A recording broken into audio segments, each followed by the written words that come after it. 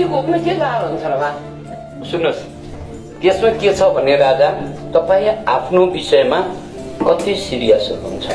त्यसले फरक फरक पार्छ। तपाईँहरू जस्तै सानो हुँदा नि म पनि पढ्थेँ नि। पढ्यो भोग्दा भोग्दा आउँछ अलि दिन नहेरे बिर्सिन्छ। हैरान हुन्थ्यो मेरो हजुरबा पहाडमा ऊ डाँडाको टुप्पोमा घर थियो। तल बिहान उठेर दुई घन्टा दौडेसी खोला छेउमा खेती थियो। दिनभरि खेती गरेर बेलुकी लिएर आउँथे बाले भात पकाएर लान्थे अरे। गाह्रो भएर तराईतिर लगेछन्। मेरो बाउले वर्षै पछि धान रोप्थे। अहिले धान रोपो काटो फेरि त्यो धान बेच्यो पैसा लिएर मलाई पढ्न पठाउँथ्यो कि काठमाडौँमा फेरि सिद्धिन्थ्यो फेरि बाउले धान रोप्थे बेच्थे। धान रोप्थे बेच्थे। अनि मैले अनि बालाई भने बा यो कसरी सक्नुहुन्छ सक्दै त्यही भएर त तँलाई भनेको त मैले वर्षै पछि बाली भित्राउनु कम्ती गाह्रो गर्छ तैँले यस्तो गर्न एकचोटि भित्रिएकोले जिन्दगीभरलाई पुग्ने गर भन्नुभयो बाले।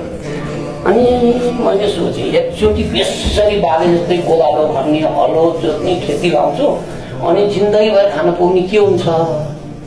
भनेर ऊ त्यो रत्नबारको रुखको फेदा बसेर दिनभरि सोचेँ।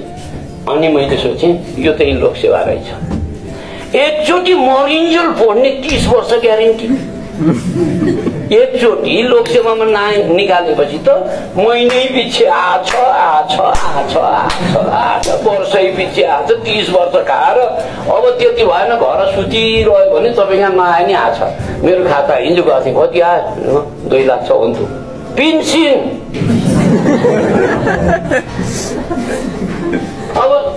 सुतिए पनि घर पैसा आएको आएछ। त्यो झिक्दै ल्याउँदै खान पाइयो हेर्नुहोस्। कतिले एकचोटि गरेको दुःख। अनि बाउले वर्षै पछि धान रोप्थे मैले एकचोटि पास गरेको भरमा जाँच पास गरे भएर महिनै पछि प्रत्येक महिनामा नि आउने वर्षैभरि आउने पाँच शून्य लाउने जा अफिस जान छोडेर जाय खान छोडेपछि नि घरै पैसा आउने। You used to keep the last and ever.